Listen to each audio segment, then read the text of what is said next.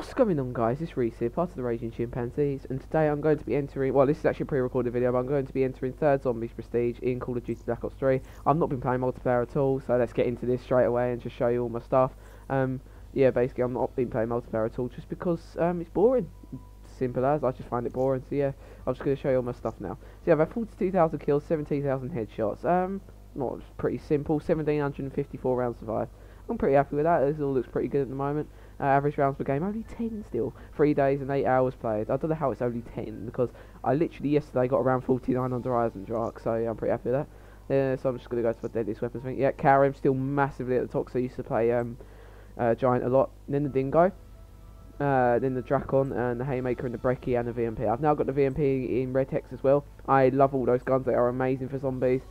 Um, and honestly, I'm, as I'm getting into zombies even more now, I just think that this like, honestly zombies is just so much fun for me. I'm really enjoying it. So yeah uh, ICR's nearly in goal BRM sort of nearly in goal I don't really use the BRM I don't actually know how I've got so many kills with it. But yeah I think I just go through all the guns. And I still haven't got any kills with the LK9 the Bowie knife or the M87 um, the KN is actually really good. I used it on one game of Giant. Really fun to use honestly. And actually pretty good. So yeah that's just pretty much all that. Most of these guns I've just picked up and used occasionally but I don't really like them yeah.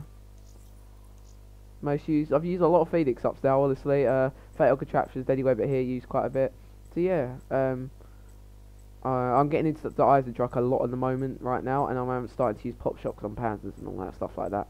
But yeah, I've still only used one Perkaholic. I currently have two Perkaholics, and I'm, I'm just going to mention now that this is um when I I'm going to be starting a new series on Friday every Friday called Vile Fridays where I open liquid diviniums. So yeah, it's going to be fun.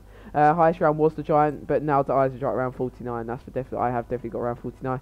Uh, Tom got around 56 yesterday as well. That's a new record for pretty much anyone I know. So yeah, pretty good. Um, yeah, so that pretty much wraps it up. I think I'll just show you where I am in the world there. Not particularly good. I don't know, 600, 500,000. If I'm higher than I am, I guess in most things. Maybe multiplayer anyway. Yeah, I mean, just show you my giant stuff. So yeah, that pretty much wraps it up.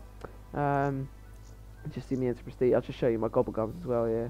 Um, and the only one I don't have is Cache Back is really rare in this game. I don't understand. Yeah, I know it's good, but I just never get them. I've only had, ever had like two, and I know they're really good. But for God, like for God's sake, alchemical anti antithesis is better than Cache, and that's a common, that's a classic, and you can just use that as many times as you want.